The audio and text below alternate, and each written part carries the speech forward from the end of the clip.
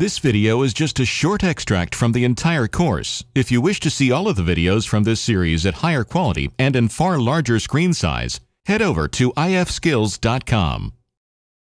So we're continuing working with a CAD survey, and we're going to be linking the AutoCAD into Revit. We've done a little bit of prep work with that AutoCAD file before we're going to bring it into Revit, and now we're going to see exactly what is the process in getting AutoCAD into Revit properly. Okay, so you can see here's the overall workflow, and let's just do this. So back to Revit, we're going to open up where we left off. So let's just go open. We last were in Revit 0301, so let's just open that one up, and that is a Revit project file, an RVT, and we'll do our save as. This is 0402, and it's still the Revit site file that we're working on. And this is just the starting point, so I'm going to call this begin. Options, just the one backup, great. And then I'll do another save after this. And we'll call this one complete. Good, so now we can get working. Okay, so next thing that we're going to be doing here, let's just put a little project note in. Three, we're going to be linking CAD site. So let's go to our sea-level floor plan, and we're going to go to Insert. So the first thing that we have to remember is always link. So let's just click on link. And let's find the file, but just a single click, not a double click. So we'll go with 3D to start, and then we'll discuss some of the settings here that we need to talk about. Current view only is unchecked for 3D, is checked for 2D. That's a general best practice rule, whatever you want to call it. And let's discuss it in the context of our file. We're starting with the 3D one. Why are we calling it 3D? Because it has elevation. Each contour is at a different elevation. Therefore, yes, it would be considered 3D. If it had solids, if it had meshes, etc., on and on and on, that's all 3D. Don't check this right here, current view only. If it's 2D, check it, and we'll discuss why in a minute. Okay, so next thing that we're looking at, units must be accurate. So Remember when we made the files, we just did a quick measurement to see what units we were using in AutoCAD. We discovered it was actually decimal feet. So one unit in AutoCAD said, I'm one unit, I'm one foot, as opposed to one unit is one inch or one unit is one meter. So let's just click on feet. So we're saying this was done in feet. Positioning. This should be auto, origin to origin. We went to great pains in order to make our origins line up. So Let's make it auto origin to origin. So that's this right here, origin to origin. Okay, once we've done those things, everything else is largely cosmetic. For instance, the layers you bring in. You can specify the ones that you want to bring in, but hopefully you've done a little bit of that work beforehand and you can just bring in all the layers in. The colors, you can preserve them, which means green will be green. If you choose invert, green will turn red, that type of thing. If you go black and white, then they'll just go black. So all the lines will be black no matter what. So we're just going to preserve the colors. They'll be green. That's fine. Then we say open. Notice we get a warning. Don't turn the warning off. Always read these warnings. It's telling us that none of the created elements are visible. So they're there, they're in the project, but they're not visible in floor plan sea level. You may want to check the active view, the parameters, as well as other views and so on. That's fine. Let's just go to our south elevation.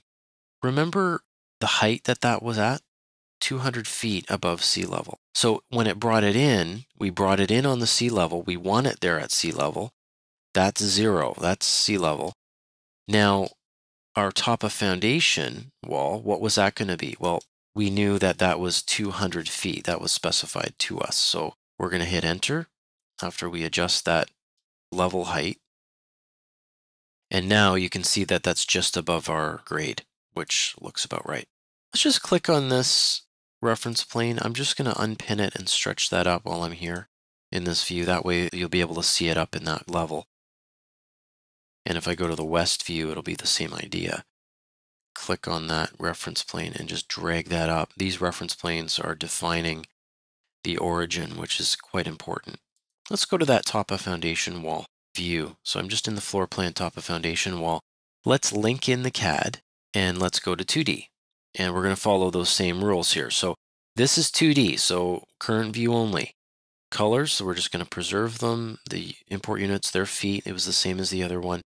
Notice the positioning, it switched it back to auto center to center. Let's put it auto origin to origin. Let's say open, and away it goes. So it looks like everything here is right.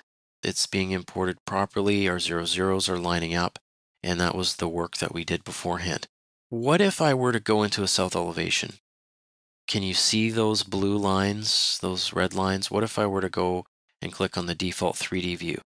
Can you see those blue lines, the property line? No. And we want it like that. So current view only means this CAD file is linked just into this view. It is not in any other view, south, north, 3D, whatever. It's just in this view. Even if we were to copy the view without detailing, it wouldn't show up. So this is something which you do when it's a 2D. Okay, so the number five thing that we were going to do here were the levels, setting the north, and then also the location. Now we already did the levels. We wanted to do that right away just so we could make sense of it. We've set the top of foundation level up appropriately. What about the north? Remember when we made the AutoCAD file, we measured this distance right here. And I mean, you can even do that right here in Revit. If I go to annotate and then I go to angular, I could just measure that. And we've confirmed that that's 15 degrees. Now that's all well and good, but the problem is that's not our project north. And if you go into the settings for this view that we're in, this is the top of foundation wall. The orientation, it's set to project north. So this is not right. So here's what we have to do. We're going to click on this file. Now both of these are pinned, so we're going to unpin them. We're going to rotate them. And we're just going to move that little center pivot point correctly. And then we can either type in the angle that we want to rotate them, or we can just do a visual and rotate that up. Okay, so I did the contours first. Now I'm going to click on this one. This is the property line and building line. And let's rotate that.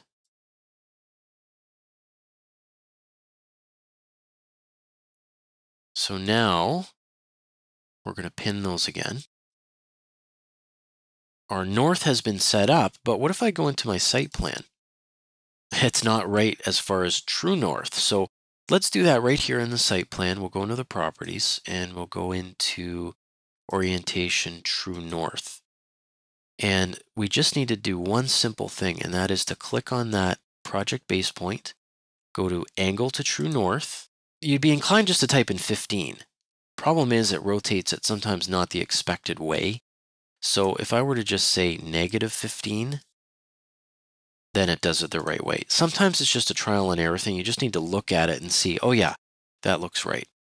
Okay, once you get that set up, it's just a matter of pulling these elevation markers so they're just nice and outside of your, just windowing them and pulling them outside of my building.